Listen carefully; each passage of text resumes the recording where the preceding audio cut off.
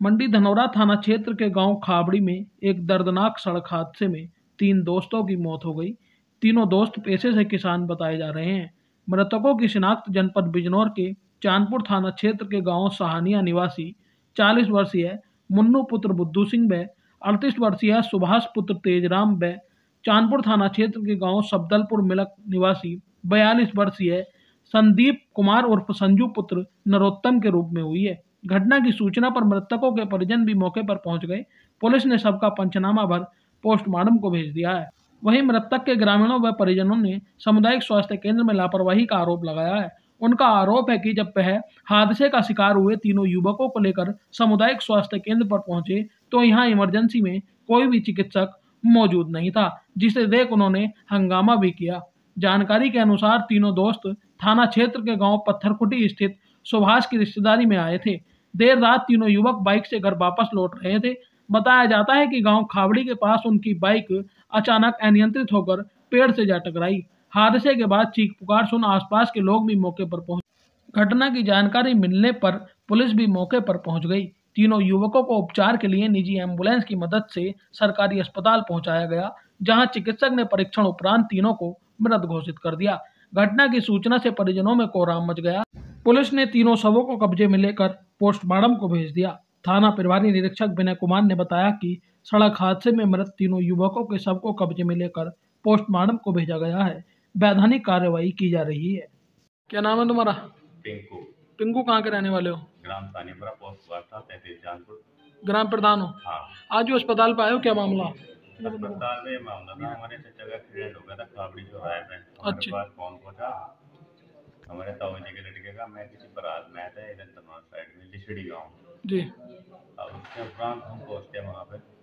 जी। हमने देखा तीन व्यक्ति एक हमारे चाचा भी थे मुन्नू सिंह और एक ग्राम के सुभाष और तीसरे व्यक्ति सप्तम मिला। तो हमने इन्हें देखा इन्होंने सिपाहियों ने एंबुलेंस बुला ली।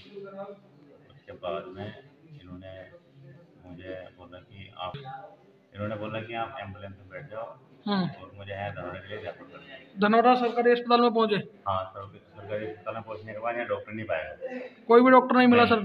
फिर मैंने एक हेड जो होता मान लो एक तरीके से किसी भी चीज़ में चले जाओ आप। हाँ हेड जो होता है उससे मैंने बातचीत की संपर्क किया।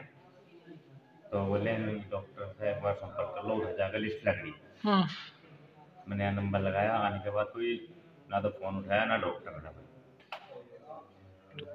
एक्सीडेंट में तीन लोगों की मौत हुई थी। हाँ। आप अस्पताल पाए तो कोई डॉक्टर नहीं मिला। नहीं कोई नहीं मिला। उसके बाद डॉक्टर पहुँचे काफ़ी समय बाद। डॉक्टर क्या वही आए थे उनको कोई डॉक्टर नहीं तो मैं ही चलो अच्छा। तो अस्पताल की लापरवाही मानते हैं? लापरवाही पक्का मानेगी कि हम तो काम नहीं हो रहा किसी बंदे का। भाई इमरजेंसी में हम बोल रहे हैं कि हमारा काम होना चाहिए फिर नहीं हो रहा तो फ़ायदा क्या है अस्पताल में?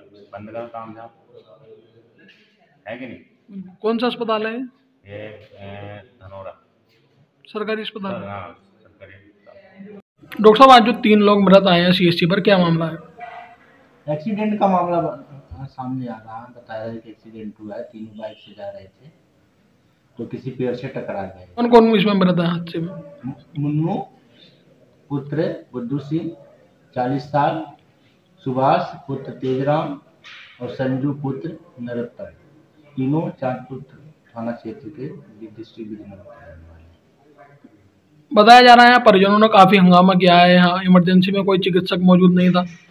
नहीं ऐसे नहीं मैं यहाँ पर था ठीक है? मेरी ड्यूटी नहीं थी लेकिन मैं यहाँ पर किसी और की ड्यूटी करने आया था।